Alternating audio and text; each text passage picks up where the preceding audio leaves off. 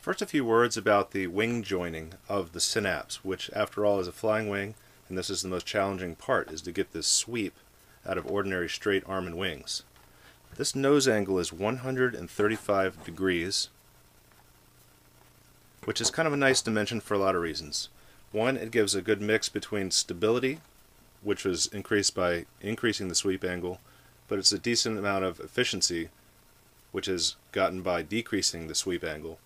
Incidentally, th this angle is 45 degrees, and so that the sweep angle for each wing is 22 and a half degrees. In this version of the Synapse wing, you'll be starting with a stock 9-inch total chord arm and wing. So that's a 7-inch airfoil chord and a 2-inch control surface.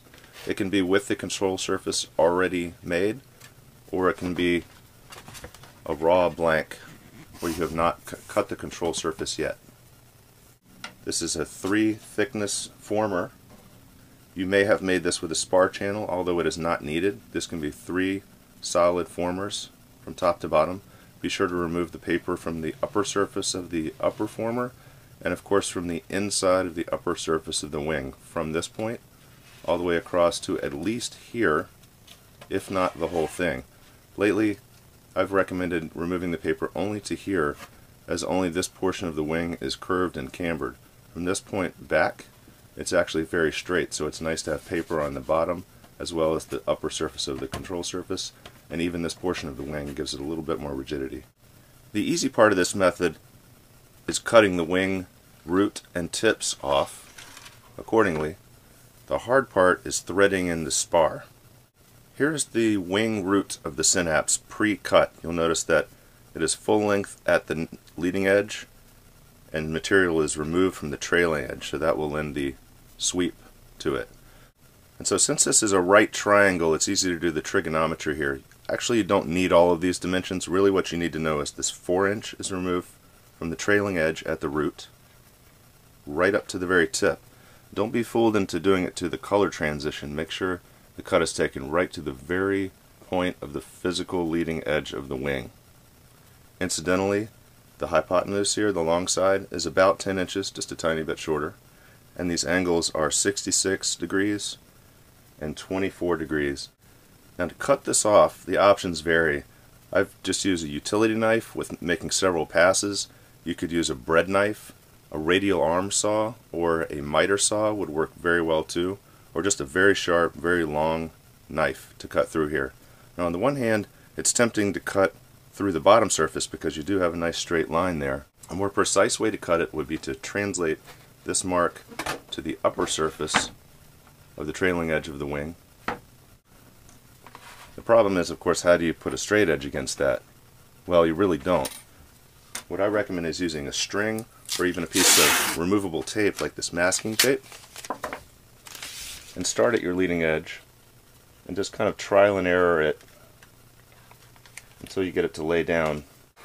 Then once you've got it straight across from the physical leading edge back to the 4 inch mark, then you can make your cut with a utility knife a nice sharp long blade of a knife or if you have a radial arm saw or a miter saw particularly with a laser sight you can make an amazingly quick sharp straight line right across there.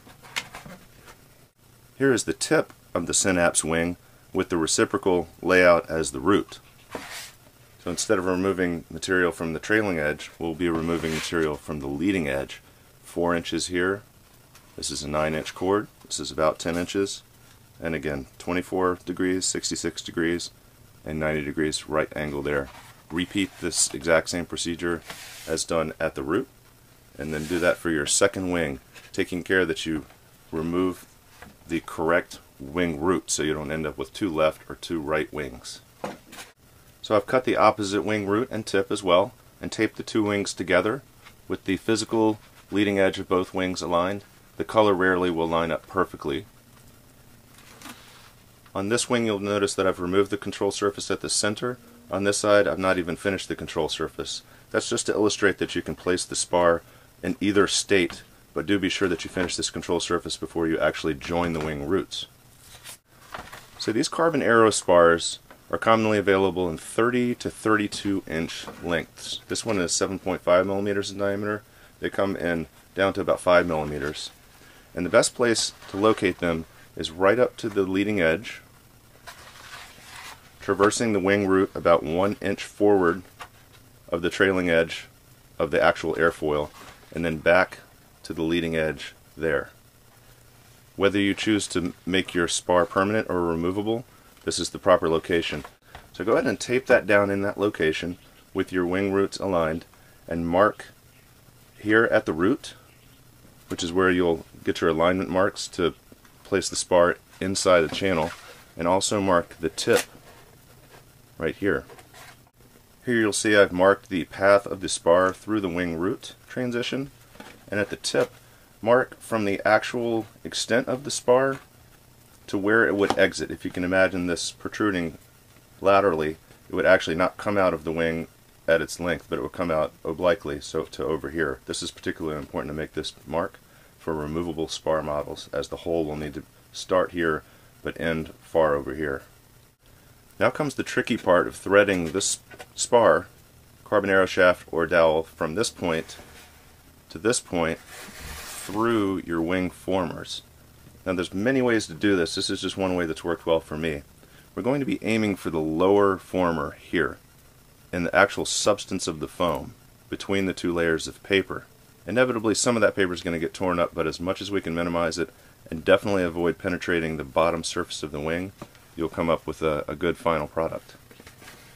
The way I've chosen to do this is to borrow technique from vascular and urologic surgeons which is to use a guide wire technique. That is to take a very thin, sharp um, metal like push rod or music wire. Um, this is actually a push rod that I'm repurposing and use that to make the actual path of the spar. Then you thread the actual thicker, blunter spar over the, the guide wire in the desired trajectory. So what I'm going to do is plan out that trajectory or path of the guide wire like this and I'm going to insert it in the leading edge of the wing and sight it with my eye and aim it down towards the exit point here using the part of the wire that's actually sticking out of the wing to help me determine if, it, if I'm pointing too far back, too far forward. And as you first insert it, you can feel it tracking against the inner surface of the lower surface of the wing. You can feel it kind of sliding around. And once it goes back and begins to engage the foam right about here, you'll feel it meet resistance as it starts to cut through the foam. Watch this carefully for bubbling up, which would indicate that the guide wire is coming up towards the lower surface of the wing that's facing you. So if I push that through, hopefully we'll feel it exit the foam on the opposite side. And you'll see that it's exited pretty close to my mark here. Now since this space is empty from about here to here, there is a little bit of wiggle room right there.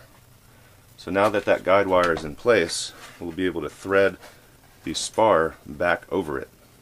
A recommended variation of this is to actually not use the spar itself uh, as the carbon fiber arrow shaft can split along the edges as it cores through the foam.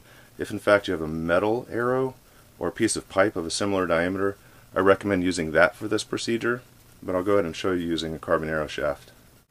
Here I've covered the tip of my carbon arrow shaft with some packing tape. It can also help to apply a little CA glue along the end to preserve the tip from fraying, or again, ideally use a metal arrow. And then what we do is backload that over the guide wire like this. Put it roughly in place where it's going to rest between those marks. And then we're going to follow that guide wire all the way through the foam to where it exits there. Just by gently pushing and twisting it, watching for signs of bubbling or deformation right here. Now with gentle twisting and pushing, if you're lucky, the spar will just come right out the leading edge, but more likely it'll kind of jam up and gall out and you won't be able to proceed any further. So just simply remove it and then come at it from the other direction. Feed it over the guide wire and having cut that rectangle on the leading edge of the wing, just follow the guide wire into the leading edge surface and cut at the foam from the other direction, following the guide wire until it breaks through. And once it breaks through, you'll see a little core of foam and paper usually. inside the shaft. then you can just simply remove your guide wire, pull your spar into the proper position, even with the leading edge right there, and then can repeat the same operation with the opposite wing. Now due to the tight space back here, the spar actually belongs right about here. You're going to find that the foam tends to want to push it forward like that. You can put a little dab of glue if you like in the finished product. You can hollow out the foam a little bit, or you can actually just hold the spar in place and kind of gently massage the foam down so that it conforms better and is less apt to force that forward. Nonetheless, there's going to always be a little bit of tension somewhere. Once you tape the two roots of the wing together, uh, that will be a non-issue. Here's the same procedure with the opposite wing. So I'm going to be aiming at the root mark from the leading edge mark.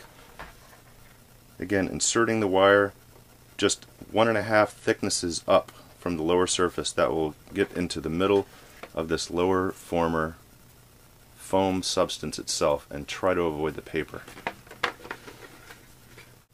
But if it isn't where you want it to be, you can always back this out and retrack it again. This shows the guide wire inserted in the leading edge and successfully tracked to the exact right spot on the root. And you can look down in there and kind of see where the track of the spar will eventually be through this lower former over the guide wire. Here's the spar now placed in the second wing. There's the core of foam. Remove the guide wire. Place the spar into its central position if you do need to remove the spar for whatever reason, for example to core out your opposite wing, you can just reinsert a safety wire like this, leave that in the tract, and then pull out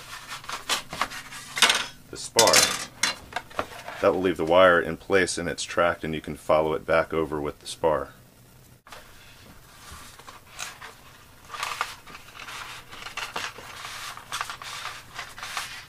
like that. And then again, just take out your wire like that. Now it's time to join the wing halves together. At this point, you will definitely want to finish the control surfaces and cut this part off as it becomes more difficult once the wings are joined. If you're using a permanent spar section, you can simply thread the opposite wing onto the spar, tape it up at the root, and be done. If you're going to use a removable spar, and you can get your hands on a different diameter of spar, this is a 5mm carbon arrow shaft that fits nicely inside a 7.5mm arrow shaft, or you can use metal outer and carbon inner, or you could use carbon or metal outer and a wooden dowel in the center, whatever you like. But in any case, this slides in and out much easier than this will slide into here for repeated breaking down and setting up of this wing. So that's just one consideration. So I've got my spar on this side, safety wire on this side. I'm just going to thread that into the spar so that it tracks correctly into this wing. And then push those together. And there will be a little disparity inevitably. You can just simply squish that into place like that and then join your wings up according to the following video.